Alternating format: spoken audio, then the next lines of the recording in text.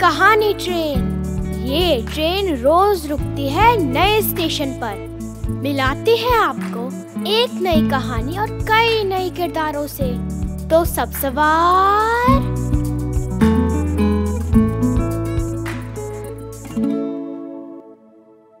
हमारी आज की कहानी है प्लूटो पत्रिका से। आँख खुली तो सपना गिर गया। इसे लिखा है शशि सबलोक ने। तुमने मुझे सुबह उठाया क्यों नहीं, अम्मा? चिया बोली। मैं उठाने आई थी, पर तुम सपना देख रही थी। तुमको कैसे पता चला कि मैं सपना देख रही हूँ? तुम्हारी आँखों से।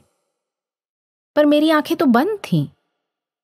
हाँ, पर बंद आँखों के नीचे तुम्हारी आँख के काले गोले तेज़ी से हिल रहे थे।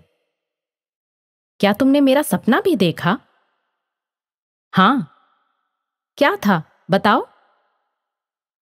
तुम और मैं मछली बनकर समुद्र में तैर रहे थे। फिर तैरते तैरते वहाँ पहुँचे, जहाँ समुद्र आसमान से मिलता है। फिर फिर हम उचक कर आसमान पर चढ़ गए और आसमान में उड़ने लगे। फिर उड़ते उड़ते हम थक गए और एक बादल पर बैठ गए। हवाएँ तेज चल रही थीं। तो हमने एक बादल को कसकर पकड़ लिया।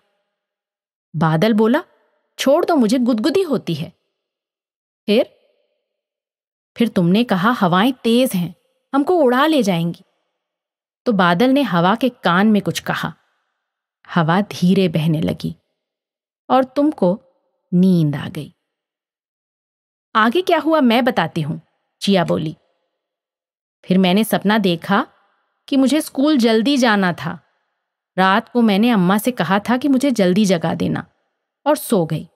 पर रात में मैंने करवट ली और अम्मा के सपने में गिर गई। फिर अम्मा बोली, फिर मुझे सोने तो दो, तब बताऊँगी। ये कहकर चिया दोबारा सोने चली गई।